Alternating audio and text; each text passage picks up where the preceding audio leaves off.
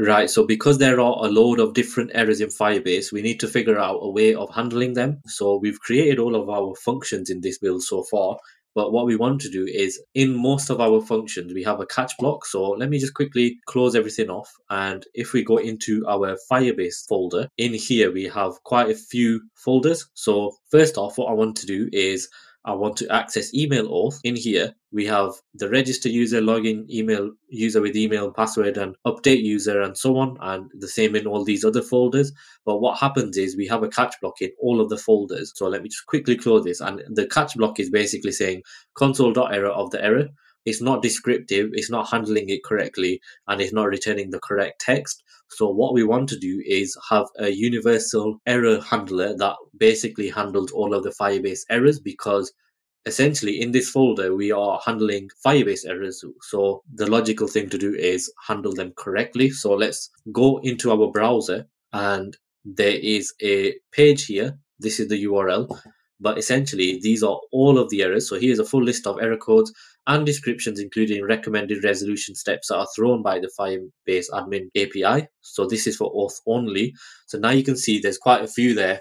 And what we want to do is, if any of them are triggered, then we want the user to be well informed and understand what's actually going on.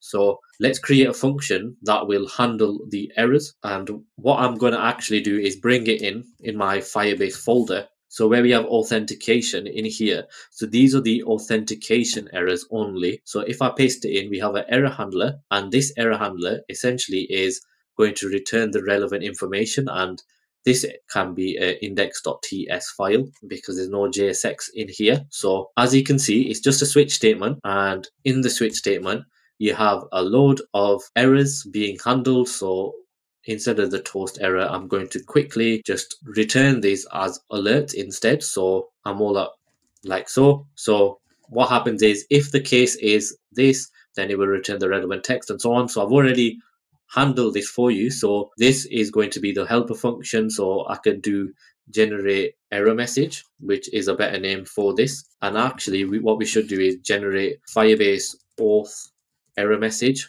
because you could be working in another section where it has another bit pieces of errors. So let's copy that. And now what we need to do is we need to use it in essentially all of the places that we are using it. So in email auth, we'll start off there. So in the catch block here, we'll keep this console.error, but what we want to do is check the type of error. So this is quite handy. So if, and then in this if check, you can do error is instance of error like that, but this error is going to be a Firebase error. So we also need to import this in from Firebase itself at the top in Firebase auth, in Firebase app. So if it is that error, then we want to essentially use our function like that, and we need, need to import this in and then make sure this is optional in here. So now we get the error in, what we actually want to do is pass in the error because we're handling the error.code within here. So let me just quickly check. So yeah, we're getting the error.code in the switch statement here.